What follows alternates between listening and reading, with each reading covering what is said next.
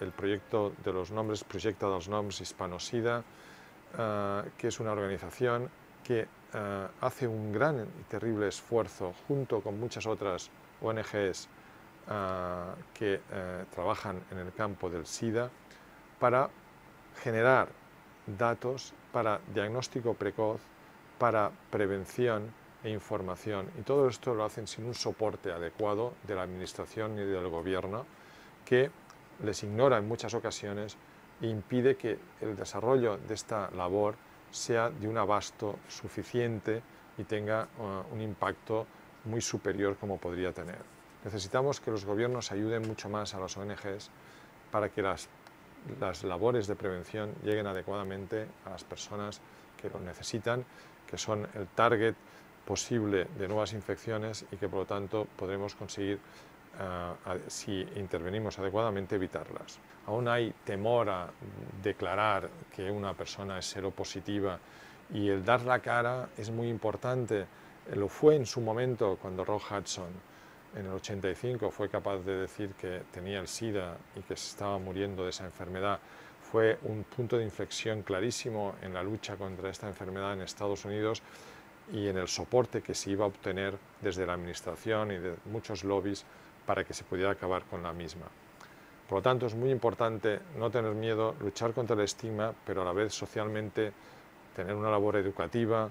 a todos los niveles. El virus no estigmatiza a nadie, nosotros no, no debemos estigmatizar a los que tienen el virus. La creamos en el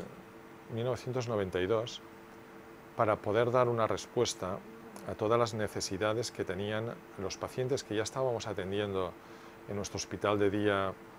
desde el año 85,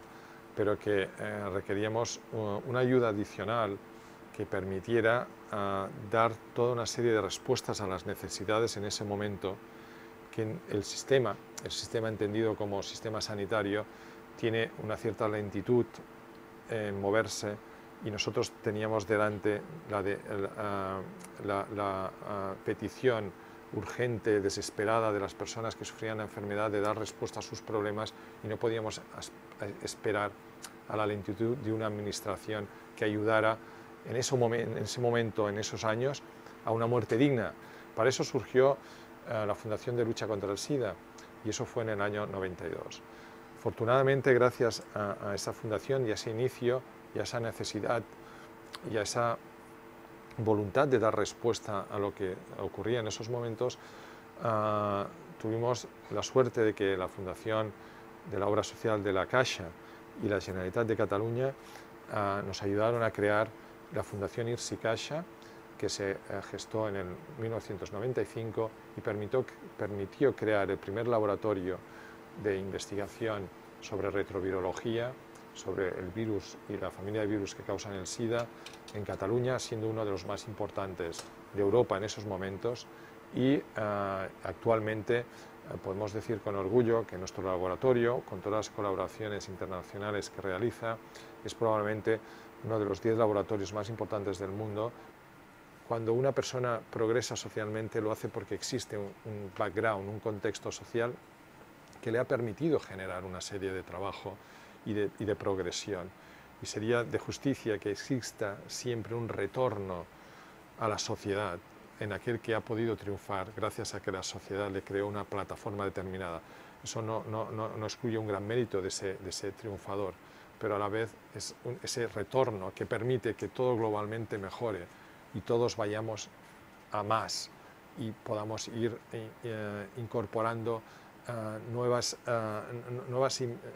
nuevos avances, podemos incorporar nuevos avances que permitan que la sociedad globalmente sea mucho mejor. Necesitamos que las grandes fortunas puedan donar dinero porque eso les represente un beneficio fiscal, pero a la vez porque hayan entendido que es una manera de que revierten socialmente todo lo que ellos han generado, ayuda a que esa plataforma basal sea aún mejor y aún permita mucho más a más personas generar mucho más todo lo que ellos han generado ayuda a que esa plataforma basal sea aún mejor y aún permita mucho más a más personas generar mucho más para que globalmente el mundo pues sea un, mundo,